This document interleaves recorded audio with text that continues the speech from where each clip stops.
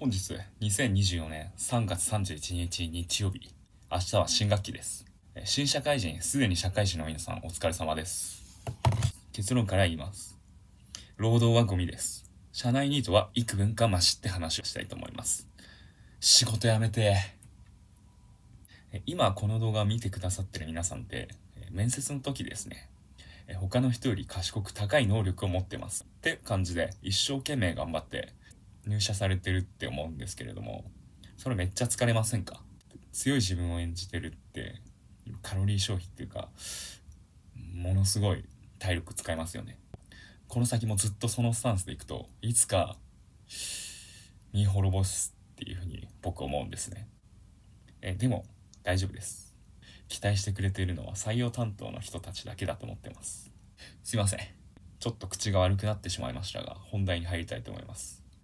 私ですね社会人になって一つ気づいたことがありまして今まではですね、まあ、社会に参加する前っていうのは人と人との関係とか行動とかって割と無責任に自分の自由にいろいろできたんです。しかしですね社会人になって会社に属すと人との関係とか行動一つ一つにお金が絡んでしまって何かと組織とやらで責任が生じてしまうんですよ。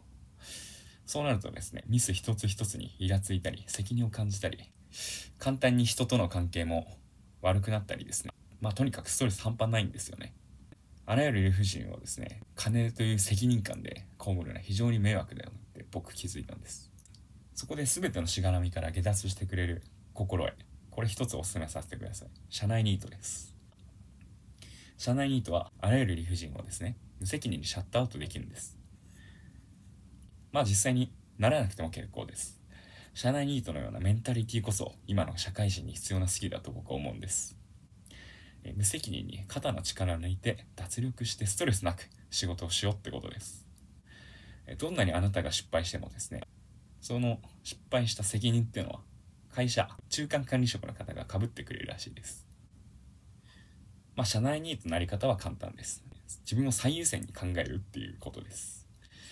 自分ができないと思ったことははっきりとできませんって断りましょう。皆さんが残業してる中、え、やらなきゃいけないことがある仕事があっても、帰りたきゃ帰りましょう。そして、車給携帯の電源オフにしましょう。周りの同期や社員の方と比べて明らかに劣っててもですね、ダメな自分も愛しましょう。あなたのことを大切に思っている家族は、あなたが社会の重圧に押しつぶされる姿を見たくないって思ってます。